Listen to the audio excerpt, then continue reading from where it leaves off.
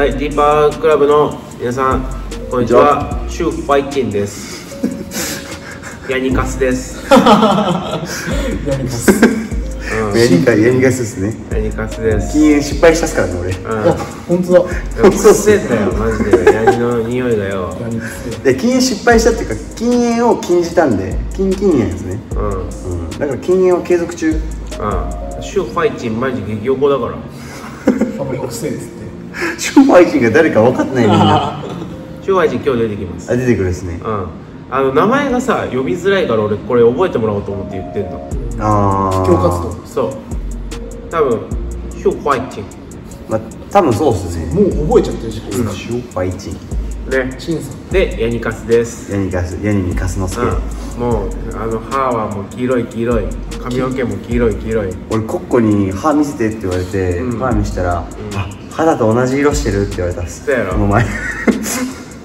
すごいショックだった。うん。まあしょうがないね。で？はい今日は、はい。アブダビコンバットの続き小太郎くんの3回戦あ。から。行ってみましょう。はい。それでは VTR どうぞ。はい3回戦。これは相手がジェイコブ・ブルックス。っていう相手で結構有名な選手なんだよな。うん。まああのデイジー・フレッシュっていうチームのあのジャコブ・ブルックスあジャコブ・カウチっていう選手がいて、超有名選手。うん、それのあでもよく考えたらジェイコブ・カウチってことは名字が違うのか？名字が違う？あそうなんですよ。あ J なるほどね JAC はいはい。か K か。ちょっと違う気がしてたんですよちょっとわかんないな弟なのかなと思ったけど違う可能性あるね、うん。だけどまあ練習仲間。うんでデイジーフレッシュの、まあ、申請として、まあ、結構こう出てくることが多いな。で彼はあのノーギーワールドの方で、えー紫で3位になってる。すごいっすよね。そう。俺これ優勝なのかなと思ったのよ。うん。メダル持ったから。ああでも IBJJ あるあるで FRR ではい。銅メダルが輝きすぎて金メダルに見えるんだよ。ああなるほど。わかんない。何その現象？パッと見じゃわからない。ですようん。そう。よくあるんだよこれ。ブロンブロンズ？みたいな。ああうん。え。でまあでもそれでも世界3位だから強いよな、ーうん。超強豪っすよね。ね。だから見たらやっぱ手足が長い。めっちゃ長かった。背もでかいよね多分これ。身長めっちゃ高かったです。ねうん。180近くあったっすよね。うんでまあこれ結構レスリング勝負挑んでくれるんだよな。そうっす。レスリング強かった？立って組んで組み合ってる時。いや強いというか思っやっぱり手が長いんで、うん。自分がまだあんまり触れないなっていう時に頭触られたりとか、はいはいはいはい。そういうのがあってちょっと嫌だったので、うん。あんまり遠間じゃなくてもその触られたのに対して中に入っていくイメージ。で、うん。でもまあなんか外から攻めるねあのブルックスと内から取る小太郎君みたいな構図が今できてるな。そうです。うん。まあでもこの差し結構入れてるじゃん今、はい。こう差しの技術ってこう簡単に見えるけど割とねちゃんと習得しないと刺せないのよ。うーん。うん。なんかこう差しってこうこうやって内からこうなんか刺すイメージあるけどさ。なんかレスリングの差し全然違うじゃん。うんそうですね。ちょっと違いますそうそう。だからこのこの技術をちゃんと持ってるだけでも結構強いんだよ。うーん。刺した。プレッシャーを結構。うん。そうね。差し押しが基本レスリング結構基本だったりするもんね。はい。そうですうん、うん、だからまあこれでやっぱレスリングの経験が結構生きたなっていうね。そうです。かなりいきました、うん。そうね。見てたらやっぱ結構コントロールもできてるし、まあ相手もいなそうとしてるけどね。うーん。うんそうね。なんかガブりたいのかなと思いながらやってましたね自う分のことをんうんうん。まあそれもプランの一つにあったんじゃない？うん。だけどやっぱ足元行って自分がガブられるのは避けたいっていう戦いだったよなこああそうですあんまりリスクは負わずにうん僕の頭を捉えようみたいな、れうんうん。まあでもなんやかんや言ってるうちにもう3分近くなってきたね。早い。もう今3分超えてポイントの時間に入ってるっすね。今うん。2分40秒ぐらいいや俺これもうひさ3分になる前引っ込んでくるのかなと思ったんだよ、でもここでやっぱ勝負するってことはやっぱちょっとあれがここで勝機がああると思ったのかあなうん。やってる感じだと多分ねこいつ引き込んでこないなと思いました。よ、うん。あこれバックだった。あれも両両差しからの奪還だよな。そう。ですうん。これ抑えてれば3点だけどこれ前これでギロチン取られたんだよな。そうです。ね全く同じ形で、うん、それをね今回は生かしてバックもう一回回って。前はそうです。あそこで頑張って抑え切ろうとしてたのを。入ったうん。そうね。もうここおーってなってたよ。俺の映像を見て。よかったです。なってた。自分もうわバック取ってるって思いながらバック取ってましたまあここら辺はね結構練習してきた甲斐があったなっていう感じ、ね、本当そううん。結構まんまっすよね。うん、うん、本当に最後1週間バックばっかりってうん。うん。それがなかったら多分あそこで思い切ってバック飛べなかったと思ううん。そうだね。ぐるぐる回れて。そうだね。うん。やっぱここって本当に動き合いで動き勝つっていう感じでバック取らないと、抑えようと思ったらなかなか取れないから、ね、これなんで読んでるょなの？読4し取れなかったんですよね。あの自分多分ドクラッチ。ドクラッチ取ってて、うん、なんか高さ的にやりにくいかなかったのか。なんか助けに変えようとしたらめっちゃ逃げられる気がして、とりあえずキープだと思ってドクラッチ取ってました、なるほど。それでさっきと同じだぞ、うん、ここは攻めてこないとダメ。もう1分切ってるからね、ここでこうすごい集中力を使う。1分だったと思うけどまあここはなんか勝ち筋がもうできてるから、そうですね。うん、もうやりきるしかねえよなっていう。もう本当にやりきるモードでした、うん。相手の手をパンパンパンパンやって。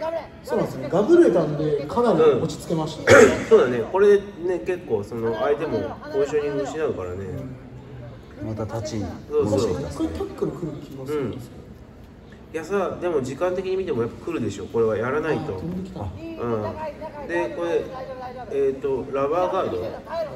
ここプラッとちょっと狙ってるのかなうん。もう腕ずるって抜け？てうん。ね。いやなんかこうこういう時なんかこのああ俺勝つっていうさはい。なんか感じある？わかる？よくは感じるよな、はい。うん。うんこれ見事。これは嬉しかったです。見事勝利、えーすごい。強豪に勝ちました。なんとか。これ勝ったらベスト4なのか、そうです。これ勝ったらメダル圏内だったな。そうです。うん。でこれ相手ねシューファイチンね。あ冒頭で出てきた。そうそうそうそうそうそう。なんかこいつ優勝候補だったんだよな。うーん前回の時も名前出てました。ねうんうん。しかもファブリシオ・アンドレと試合してうん。パスとかはまあされてたんですけど全然決められたりとかしないんで、かなりうん強いね。強い。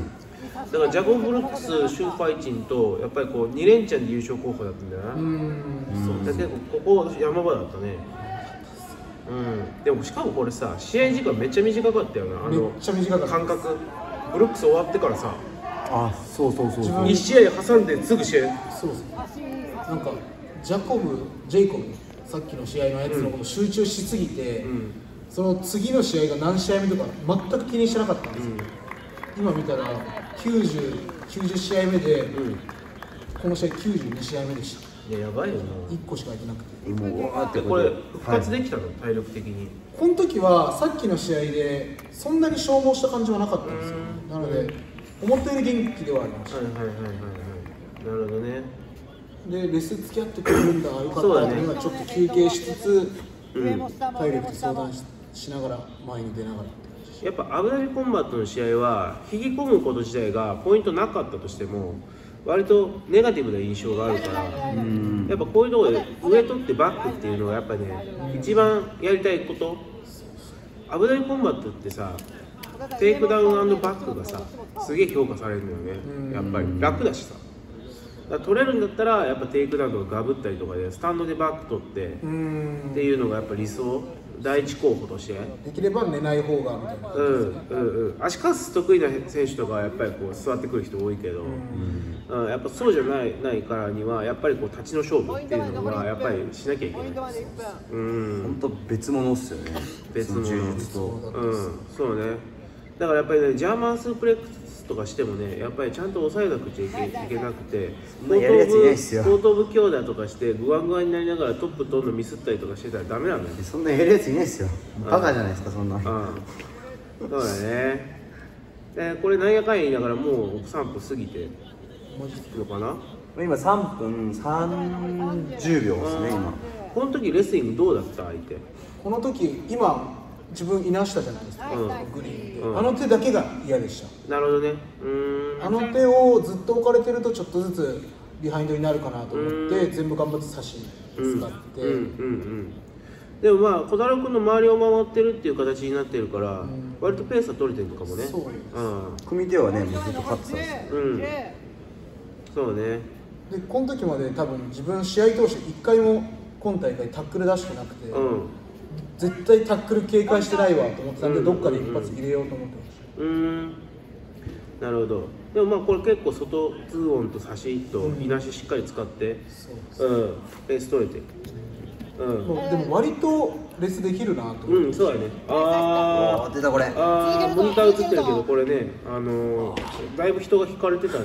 女の人うずくまっててマジで潰れたんかと思ったそれうん練習でやっぱり 生涯は止まらないものだとそうね思えっていうあれだったじゃないですか、まあでも味これ見てると割と止めるよな。そうです。なんか止めてました、うん。まあ板の間だからじゃねあうーでもやっぱりそのイーストコーストトライアルとかうん。見ると全然止めないんですよ、まあ絨毯だし。ああ、うん。材質の違いなんですよ。それは会場の。うんそうね。でここまではまあまあ割といいペース。でこれ相手ここでも引き込んでこないから。まあ引き込まれたとしてもまあいいけどな。そうですね、うんマイナスもらえるし、うん。おうわ出た。首だけ。これ。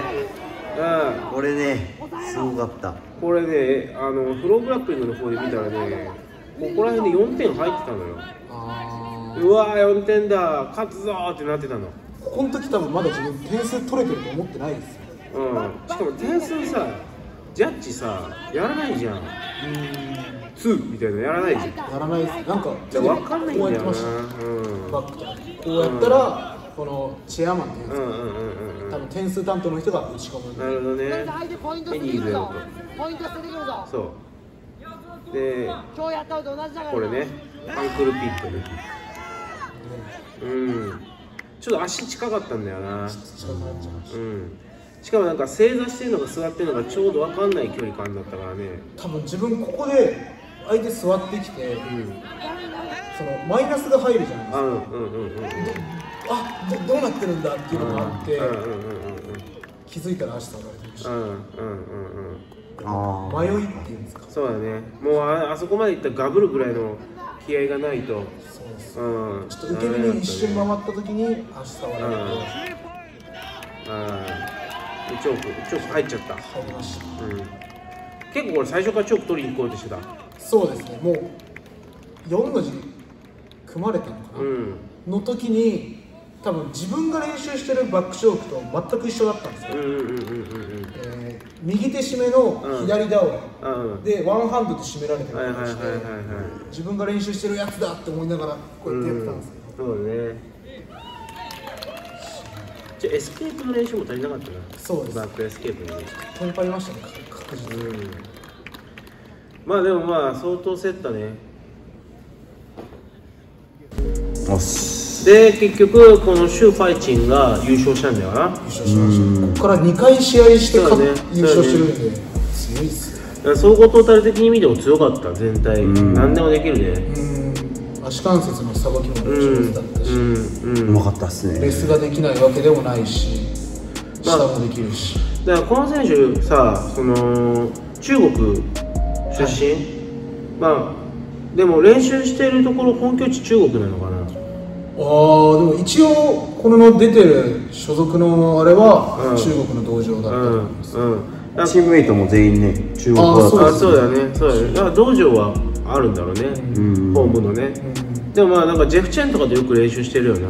ああ言ってましたねあーうん言ってましたあとあのなんかチームアジアのあのなんだっけ俺あアルレオーメンあるななんかあるよまあねちょっとロゴ出しておきます。あれのチームの選手なんだよな。そうスポンサーついてもらってあだからまあ中国の選手としては結構期待株の選手で、で今回多分初中国人初アブダビコンバット本戦。あ初なんですか、うん、うんっていう形なんだよな。だから結構大型の新人選手。え年も21歳とかだから。うん若い若いうん。だからまだやる可能性あるね。そうです来年も、うん。来年っていうか、まあ、次のトライアル。そうだよねとしたらまあ当たるんだろうなと、ねああるよ。だから結構もうまだそのやれてない選手いっぱいいるから、うねん。そのなんていうの芦田さんとかさ、はいはいはい。うん、芦田 あ芦田もふね。芦田もふね。芦田も あそうそうそう。芦田さんって呼んでんだあれ。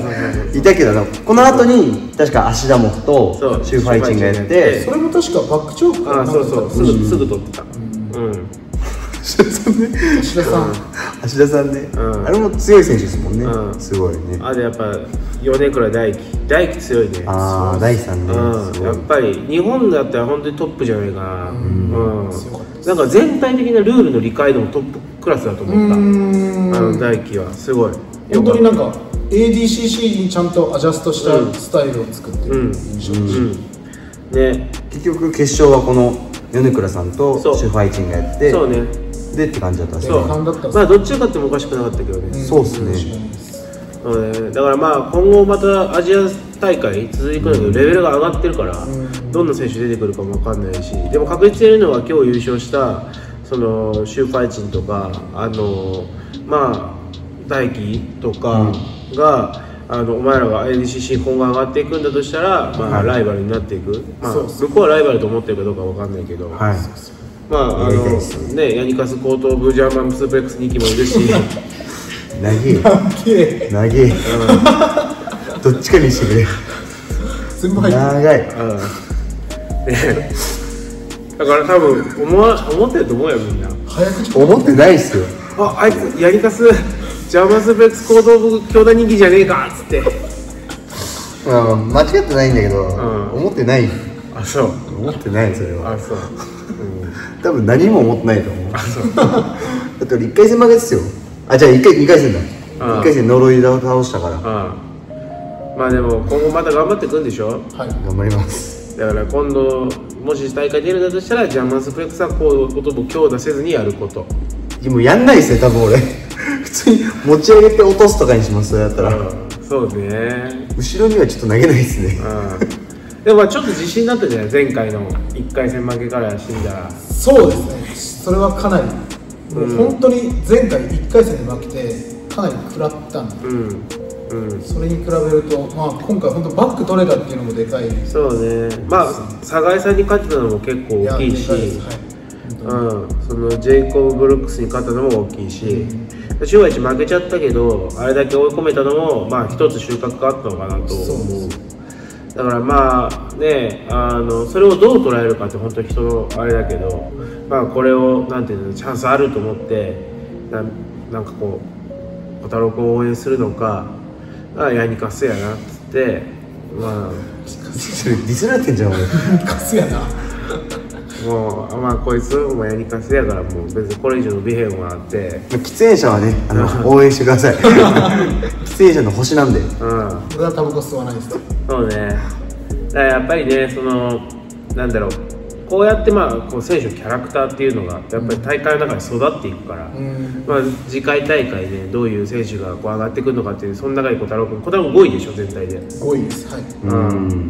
だからまああのその中で多分そのあこいつ前回強かったやつだっていうふうに見られる選手間の中では絶対あると思うし、うん、まあ達之助やにかせやなみたいな。邪魔してくるな。と会場でもそう思われてるん。です自爆するな。そうそうそうそうそうそうみたいな印象。あまあでもまあトゥンクトゥンク2代目ではあるから。いいましたからねそういえば。うん。話しかけてきてくれて。めっちゃ仲良くしてました。ブラザーっつってきたななんか試合な試合何番なのみたいな言われて、 good luck トゥンクまあいいやつですもんなんか、うん。コロンって結してなんか ADCC 出てるけどみんないい人で。いい人多いね。分あのジャコブ・ブルックスうん。と試合前に俺一人でコンビニ行ったら、ん。まあ普通にいつもの格好でうん。ヘッドホンして行ってたら、ジャコブ・ブルックス来て多分俺のこと対戦相手として全く認識してなかった。って、なんかめっちゃお前かっこいいなみたいなことを英語で言ってたえへえ 外人だそうなんだ。ええまあなんか彼は性格良さそうだね。あそうです。なんか試合終わりに挨拶して、うん。ナイスバックテイクみたいなのをわざわざこう言いに来てくれたりあそう。とかしたっすよね。偉いね。達之助だったらもうブチ切れて口も聞かねえけどな。僕実際本当に多分1時間ぐらいあのママットのその床のあのマット引いてないところでずっとうずくまってて。あ俺も負けたってそうだったよ。うん。ただあのよく 見たらプログラップリング契約してる人を見てもらったら、うん。多分この選手シュー・ファイチンと芦田も芦田さうん。んが試合してる後ろで僕あの岩崎さんと電話しながうんうんら泣いてるのがうん。うん。うん。うん。そうね。じゃあぜひそこもご注目して。プロを契約してね。入ってもらって。うん。だから今後も続いていくから戦いはそうですね。頑張っていきましょう。思いましょう。では。ファイチン。ヨニカス始めました。SNS のフォローとチャンネル登録もよろしくね。今日も最後まで見てくれてありがとう。バイビー。